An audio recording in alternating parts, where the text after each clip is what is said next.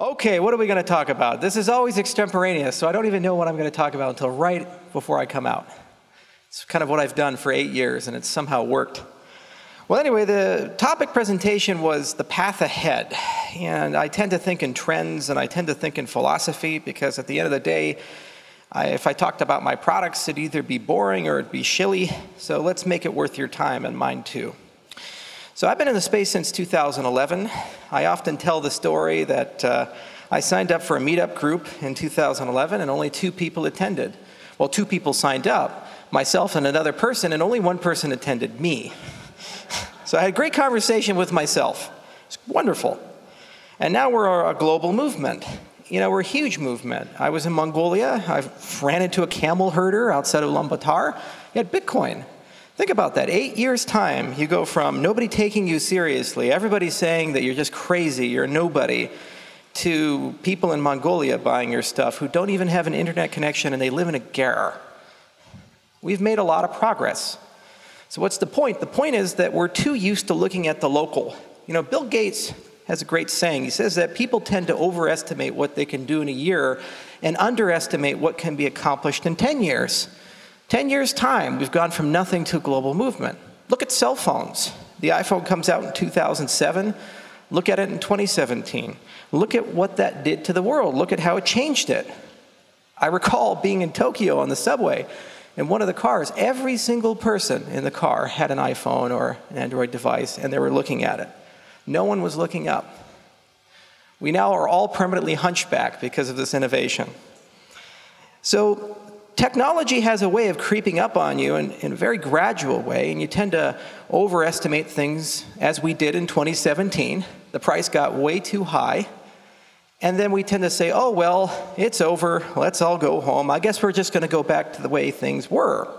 The problem is, we can't go back to the way things were. The internet stopped that.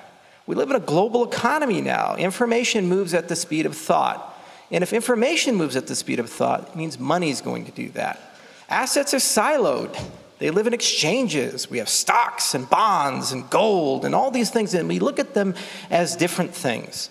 But the reality is that their representations can be universal, almost like a stem cell for finance. And that's the point of our movement, is to talk about the DNA of how the world works how our identity works, how we vote, how we own property. What does it mean to own property? What does it mean to have wealth? The representations of it, the movement of it. There's a big regulatory conversation right now. The most expensive thing if you ever run a bank is your compliance desk. It's a miserable job. You have to learn everything about your customers KYC, AML, anti terrorist financing, and at the end of the day, if they do something naughty, you know what you're supposed to file? If you're in the banking industry, you know these words well suspicious activity report. In other words, you have to tattle on your own customers. It's the world we live in. It's a world that also means that it's really hard to bank 3 billion people because it turns out we don't have enough of their story documented. Wouldn't it be nice if we had a different way of doing that? It's the point of our movement is that every one of these topics, whether it's important to me it's important to somebody somewhere, and it's impacting someone's life somewhere. See, when I first joined this movement, I was enthralled by this concept of decentralized technology. I really loved the protocols. I loved proof of work. I loved UTXO accounting. I was like, wow, that's a data flow graph. Wow, Bitcoin script's kind of cool. I mean, Forth is a really old language. Who would be crazy enough to, to build a scripting system from that? And it was really a selfish endeavor. I couldn't care less about what people felt or thought. It was just, I like the tech. I like open source projects. I enjoyed these things. And little by little, as I traveled around the world and I got to meet people, everybody had a story. And it usually started with something like, I have this problem, or we face this problem, or we had to endure this. I remember the first time I went to Argentina, I had a chance to meet an older gentleman, and told me a story about the many monetary collapses he had to endure. And he showed me where he buried his silver after the government's money went bad. Then he told me about how the police showed up and stole his silver. So then he went to his backyard and showed me where he buried his other silver, because the first was a decoy cache. that's how clever these people get. But that's the reality that people live. in Venezuela, reality they live in Zimbabwe. And after 2008, it made me think how far are we in the United States away from that? We have 23 trillion in debt. Our leadership continues to get more and more incompetent. The global financial markets are not healthy, and we seem to be just kicking the proverbial can down the road. We have all these toxic derivatives floating around, inflationary policy is never ending, and nobody seems to listen or care to actually solve real problems. It's a recipe for the world to start getting to a state where we're probably going to have some difficult financial times ahead. And if every time the collapses get 10 times larger than the prior one, you can imagine where we're going to be at. So, what's the path ahead about? It's about how we can solve this problem, not governments, not big corporations like Microsoft and Amazon and the Googles and the Baidus and all these others, but we can actually solve these things. You see, at the end of the day, what's so magical about the technology we build and so magical about this movement is it's mostly open source. We share ideas. If Justin comes up with something, I can take it. And if we come up with something, he can take it. If the Neo guys come up with something, it's free game. Same for Ethereum, same for Cardano. And it works just this way in the science. I remember when we first started publishing papers, one of my proudest moments when we published the Ouroboros Classic paper back in 2016. It was one of the first major publications of my company. Since then, we published more than 40. And more than 20 have gone through peer review at major conferences like CCS and Eurocrypt and Crypto. And just those few short years, I've watched from just having a few papers presented to dozens to eventually dedicated tracks having a conversation of skepticism and, okay, good for you, please move on, to this is really interesting stuff and I'd love to work with you. I'd love to collaborate. So the science community is composable and open. The code is composable and open. And what we have is now a Darwinian environment of thousands of ideas all competing with high financial stakes. At the same time, we have a legacy system that's not doing well, and we can see that.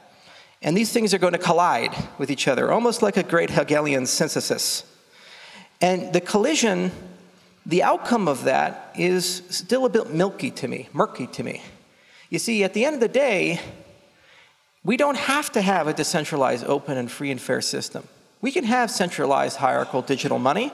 We can have social credit we can have a system where an actor can shut off the access to your identity, your money, prevent you from traveling if you want, or we can have a system that's controlled by you. There is no universal law that says society should work one way or the other way. It's ultimately your decision. Just like there's no universal law that we should have kings versus presidents versus committees versus members of parliament. These are decisions we make. And what our space is doing is it's a gigantic experimental petri dish where we're seeing real time how to do these things. To go to the practical, we're in Ethiopia. In fact, after this, I'm flying there. We just got done training a class of 23 women 19 from Ethiopia, 4 from Uganda in Haskell. And it's very proud to see them succeed. But more importantly, we're going to start talking to the Ethiopian government about a supply chain management project.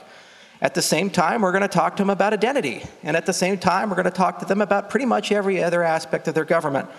Did you know that the prime minister of that country is a cryptographer? Broke codes during the Eritrean War, the only world leader who currently holds an advanced degree in cryptography.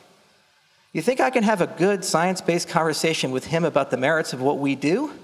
And if it turns out to be successful, what does it mean? It means 106 million people, third of the population of America, about the same population as Japan, could be living in a more advanced economy than I do within 10 years.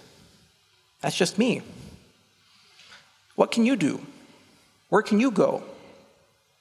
So, the power of this space is the fact that whether it's circumstance or fate or just the fact that we're all due for a new governance system because of the internet. We all have the power to do these things. We all have the power to be able to have these types of conversations, to be able to engage with these types of leaders and think about the nature of how people should live throughout the 21st century. What rights should they have? How much privacy should they have? State of Texas is right now talking about passing a law that says if you're going to receive a cryptocurrency payment, you have to know the identity of the person pushing it to you. Think about how insane that is. You have an address, someone pushes you a transaction. I could make everybody in Texas a criminal if they passed that law. Is that good? Well, it depends on your opinion, what you value. And this is an interactive process. This is one that you control as much as me. And basically, the decisions we make over the next five to 10 years, the direction we take the technology over the next five or 10 years, are going to determine ultimately how these things work. It wasn't too long ago that people made the same decisions for the internet. Netscape decided what the web browser was going to look like, and the cookie was going to look like, and the scripting language, JavaScript, was going to look like. If you like e commerce the way it is, that's because of them. Came up with a certificate. The decisions they made, you live with, for good or for bad. Had we adopted PGP, we wouldn't have passwords right now. We'd have a password free internet. We didn't go down that direction, we went down a different direction. So, similarly, the decisions the entrepreneurs here make, the companies make, will have these impacts on you and eventually the world. And the stakes are a lot higher because this isn't just about money. This is about how you live, your freedom of travel, what you can own, what you can't own, the types of people you can do business with, and the types of people you can't do business with, the level of privacy you're going to enjoy, your autonomy. That's what this is ultimately about at the end of the day. And that's why I'm still here after eight years, all the ups and downs. Sure as hell, not for the price. Back when I joined, it was a dollar. We went up to $30, I said, wow, this crypto is amazing. It went down to four, and I said, I'm the worst investor in the world. Then it went up to 250. I said, oh, this is cool. I should buy some more. And then it went to 80. Then it went up to $1,200. I said, okay, finally, finally, we're there. Then it bled down over a whole year period to $250. And then I sold some angrily. And then it went up to 20,000. I just gave up. And then I almost bought some at 17, and then it went down to 3,800. And I said, This is why I'm not a trader. This is, there's other people who do that. anyway, it's not for the price, it's not for the markets. But in closing, a few key facts to remember. Our movement continues to grow. It's easy to get a little hopeless and think that the best times are gone, but there's actually more people in cryptocurrency today in 2019 than there were at the peak of the market in 2017 more businesses being started today, more venture capital entering the space, more diverse capital entering the space, stronger business models. Recently, Samsung just announced that apparently crypto's coming to their phones. Three to five years, that's going to be a standard for pretty much every smartphone, probably including the iPhone. And all these major consumer platforms, from Messenger to Windows itself, are prime candidates to integrate infrastructure. So, our movement is growing the state of it is quite strong, and our greatest challenges we have yet to face. It's going to come when that legacy world comes collapsing down, and how we respond to that and what we do with that. So, it's in your hands, I guess. Good luck. Thank you all for coming.